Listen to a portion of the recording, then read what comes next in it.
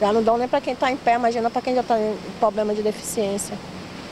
Eu estudo muito pouco, então fica difícil, muito difícil. Já sei ler e escrever, não tenho curso de nada. A tristeza e conformação é da dona Maria Socorro, de 48 anos, diagnosticada com paralisia. O sofrimento é de quem vive um dia de cada vez. O vazio no coração de não ser vista pela sociedade, aliado ao vazio da fome. Sem estudos e formação, nunca conseguiu uma oportunidade de emprego. Quem sabe como dói a fome?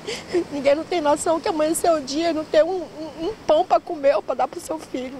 Há mais de cinco anos, Dona Socorro tira o sustento da família dela desse cruzamento. Debaixo de chuva, de sol, ela tenta fazer uma renda de 300 reais para pagar um aluguel junto com os dois filhos, que também estão desempregados. O pessoal só tem Pix, cartão e quase ninguém quer ajudar mais, entendeu? Antes era bem melhor, agora está muito ruim. A situação está cada vez piorando.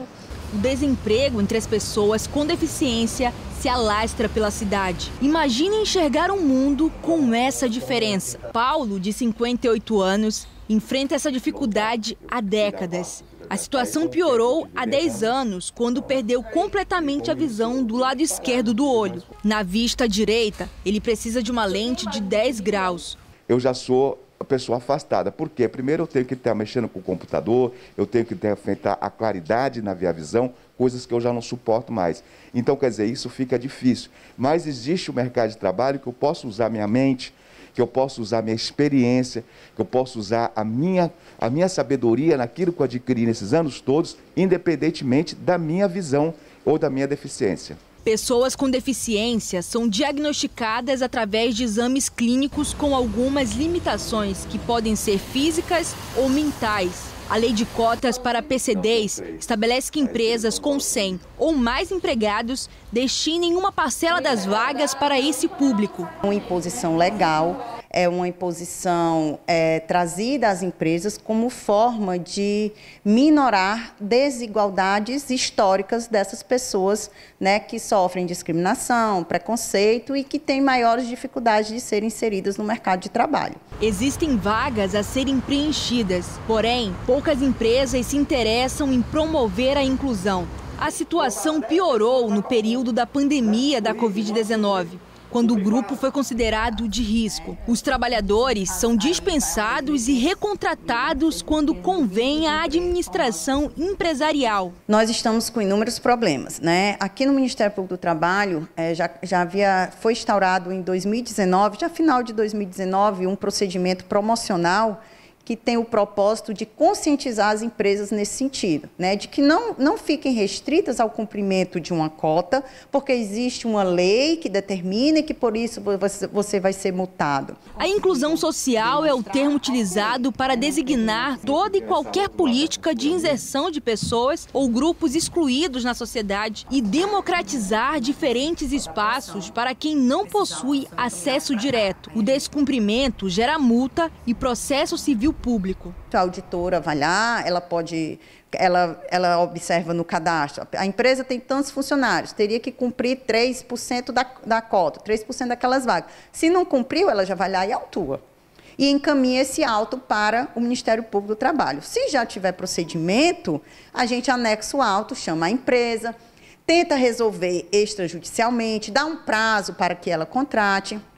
Muitas vezes eu já encaminho uma listagem de. A gente tem uma listagem de pessoas com deficiência hábita ou reabilitados.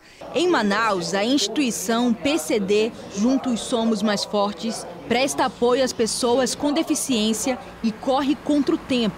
O projeto tenta minimizar o impacto negativo do desemprego através de cursos profissionalizantes, acesso facilitado ao laudo médico e o encaminhamento para empresas dispostas a contratar. Apesar de todo o esforço, a situação ainda é complicada. São muitas parcerias que nós temos, tanto com a RHs quanto para o distrito e na construção civil também.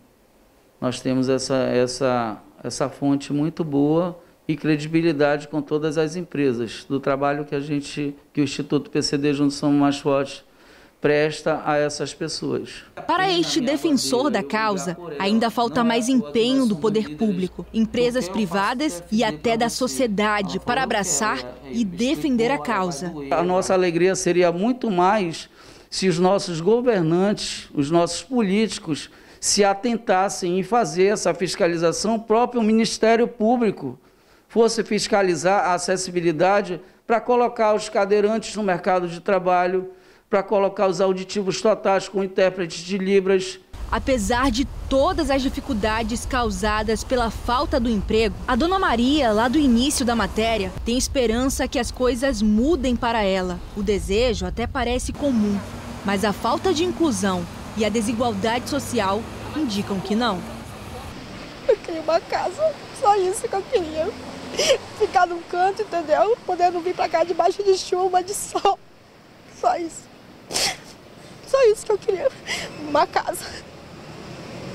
Em qualquer lugar. Dá pra botar minha família tudo dentro.